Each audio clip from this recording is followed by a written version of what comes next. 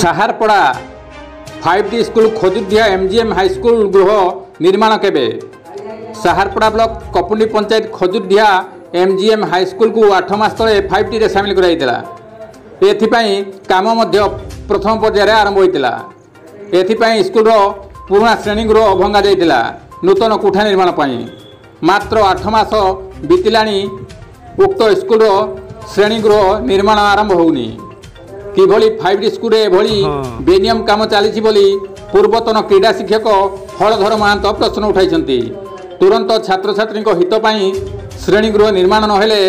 ଆନ୍ଦୋଳନ କରାଯିବ ବୋଲି ସେ ଚେତାବନୀ ଦେଇଛନ୍ତି ଉଗ୍ରେସନ ପୃଷ୍ଟିଙ୍କ ରିପୋର୍ଟ କେଡ଼ି ନୁଜୁଡ଼ିଆ